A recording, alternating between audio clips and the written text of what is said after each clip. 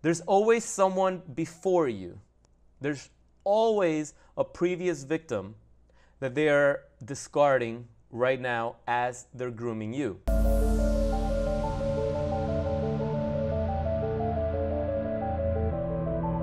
Ladies and gentlemen, welcome back to another episode of Psychopath Exposure. I hope everyone's having an amazing holiday season, and I know that's hard to believe considering what a shit year we've had.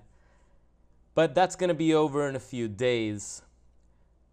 But I promise you, the psychopathic trauma will carry on into 2021 if you don't do the work.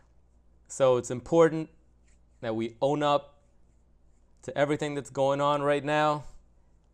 If we're stuck in a situation that we want to get out of, this is the time to take action.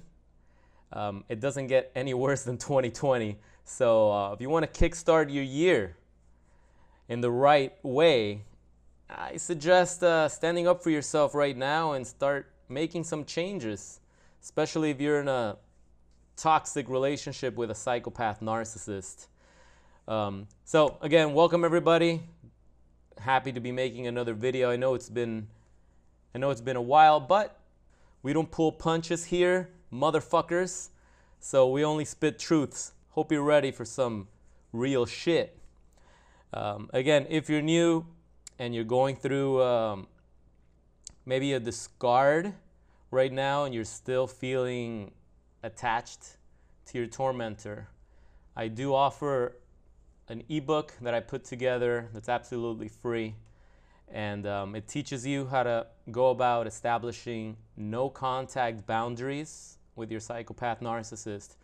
And I urge everybody to read that and to implement those steps immediately so that you can start your new year fresh without having those motherfuckers contacting you or somehow sneaking back into your life.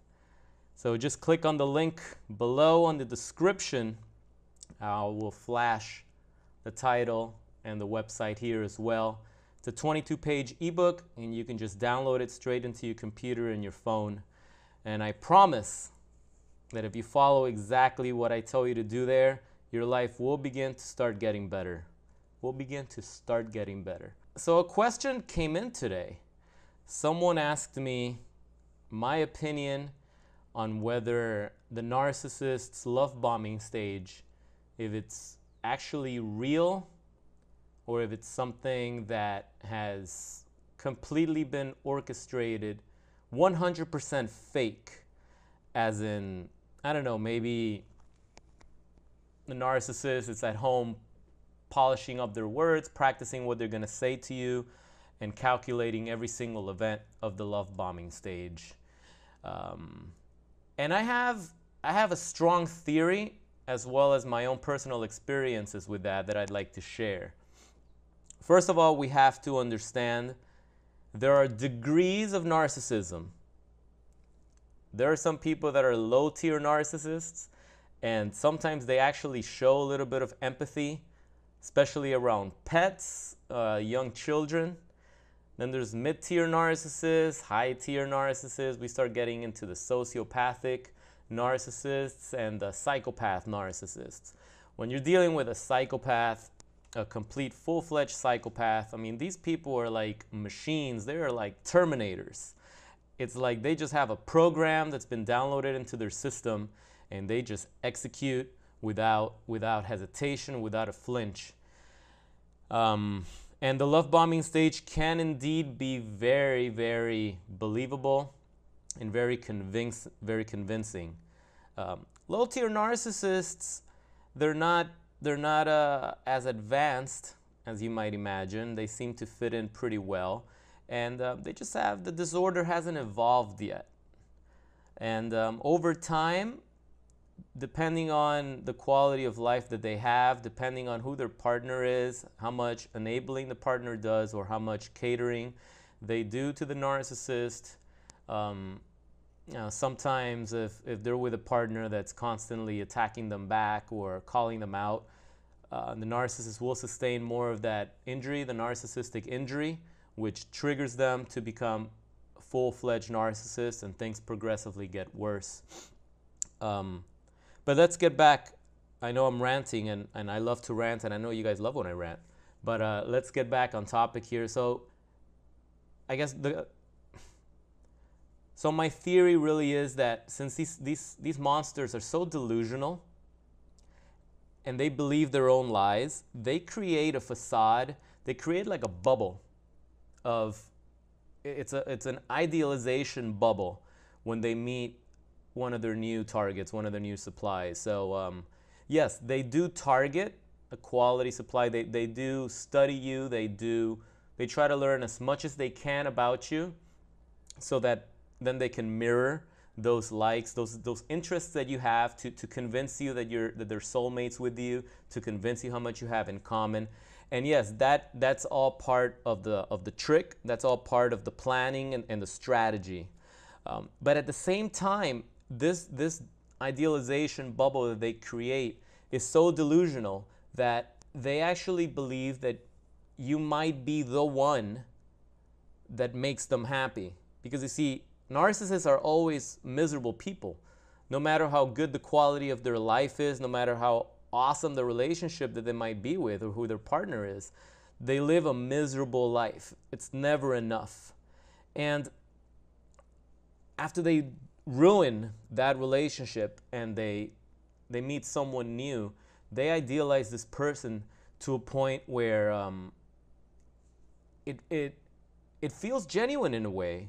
It feels genuine, and I'm sure many of you would agree that you know, as you look back into those times of the love bombing, you do remember that there were times that you sincerely felt that they were real. And you look at pictures and you, you look at the way they, they would look at you and the way they would smile, and, you, and, and, and you're like, wow, like that actually felt real. Like I could tell when when they were faking, like their smile wasn't the same, like like they, they didn't have the, the, the the crow's feet in their eyes when they would smile was like a fake smile. You see it on photographs that it's fake, but then you look at some of the earlier ones and they legit were having fun and they, they felt loose. They, they didn't feel like they were calculating their, their moves or, or calculating the things they would tell you. It, it felt like they were genuinely happy with you.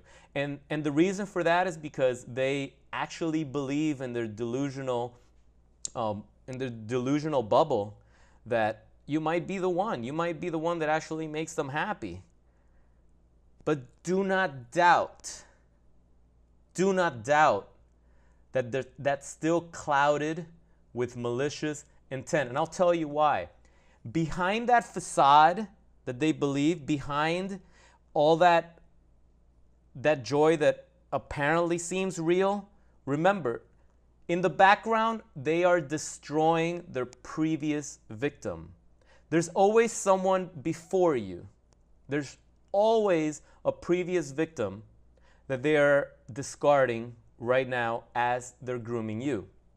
So that means that despite despite how real it might seem and despite how they actually believe and are, are may seem genuinely happy with you at the time, and sometimes that's true, behind the scenes, once once you drop them off or once they go home or whatever the case may be, behind the scenes, they're destroying their past victim. They're ignoring their texts, they're, or they're being extremely short, right?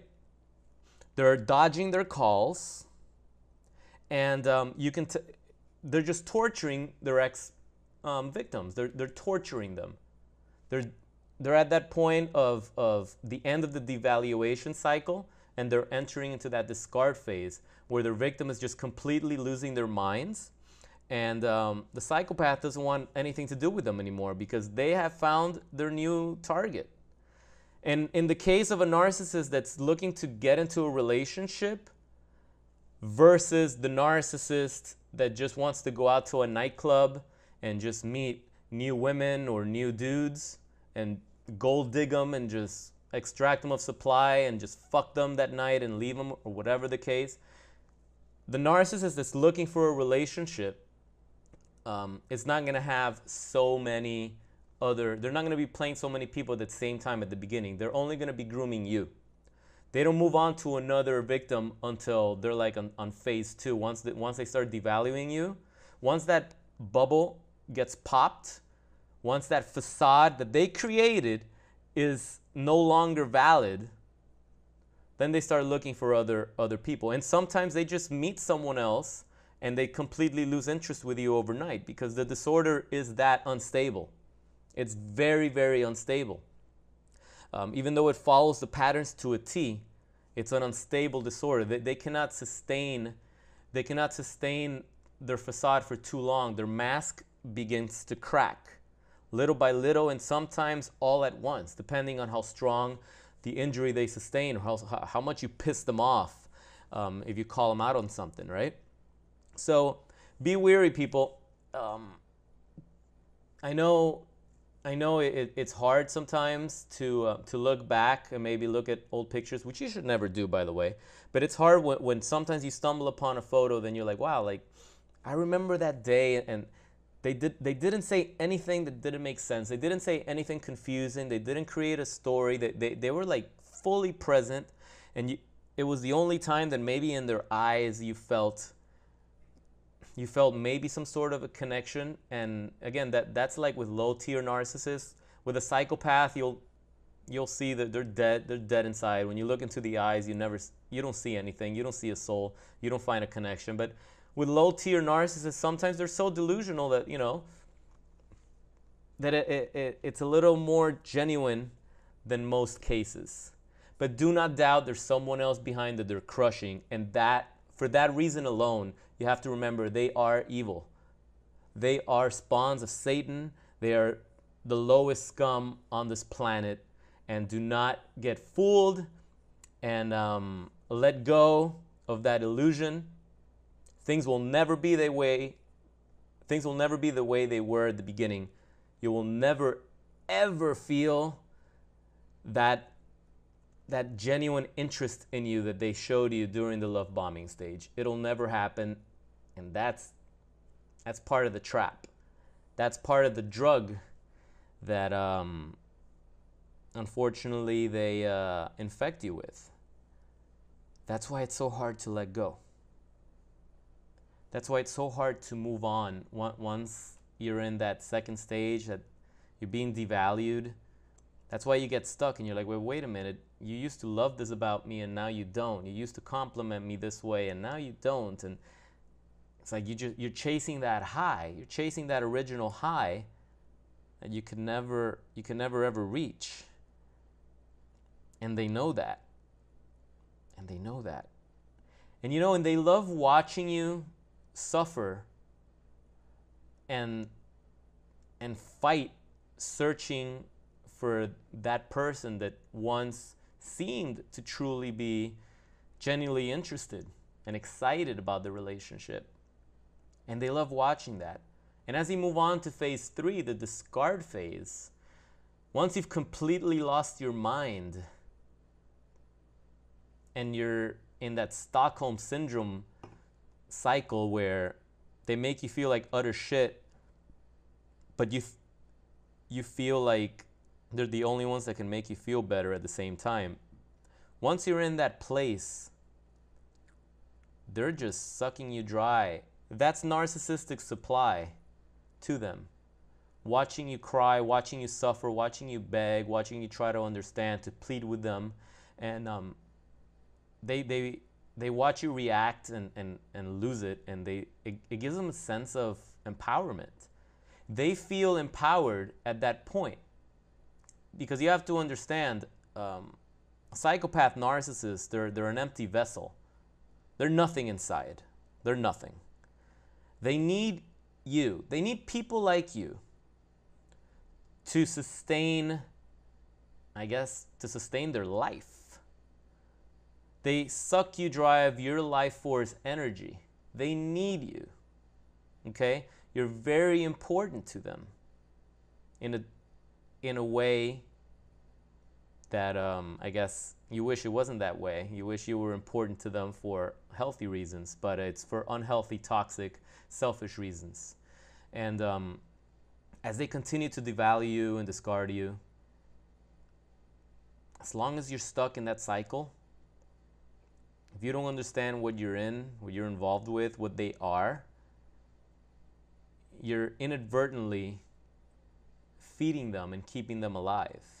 And that's why sometimes they'll discard you and um, they'll make it a point to somehow stick around just so that could just so they could continue to torture you in some way or another. And that's why it's so important to go no contact if you really want to break free from these monsters. You have to go no contact. You can't continue to drink, swallow the poison that you're trying to detox yourself from. You'll never be free. Makes absolutely no sense. So remember, no matter how real the love bombing felt at that time, even even those flashes of sincerity, remember that in the background they were being malicious, cruel, and evil to a past victim, to someone that once was just like you. And for that reason alone, you cannot give them the benefit of the doubt. You cannot give them a free pass because they were being evil to someone else. They're not good people, they're monsters. They're horrendous pieces of shit. You know it. You just might be afraid to admit it. But you let me know when you're done eating your shit sandwich. Eventually, you're gonna realize it tastes like shit and you're gonna wanna move on to something else. Um, so that's all I have for you guys tonight. Um, I want to remind you guys I do offer private one on one coaching for those of you that need to talk to someone that understands. I know too well that friends and family have no fucking clue what the fuck we went through. And they're just gonna eventually dismiss you and just get tired, sick and tired of listening to your shit. And they're gonna make you feel alone. And some sometimes the narcissist has already tapped into your friends and family as well and created a smear campaign and made you look like the crazy person so you have no one to talk to. Um, so if you like more information on that, uh, send me an email at info at psychopathexposure.com and uh, give me a brief um, scenario of what you're going through to see if we're a good fit for each other.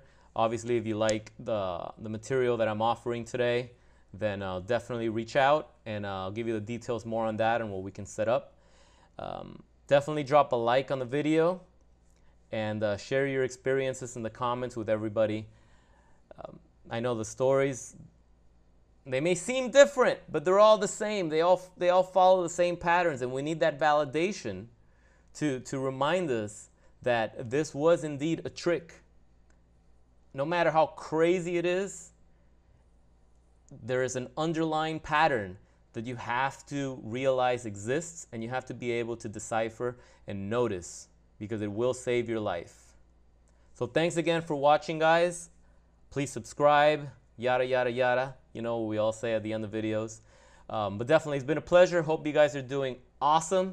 My name is Kira. This is Psychopath Exposure. If you have any questions, if you have a video you would like me to make, again, drop a comment below or shoot me an email and I'll see what I can do for you. Have an epic holiday season. Merry fucking Christmas, Warriors. I love you guys. Take care.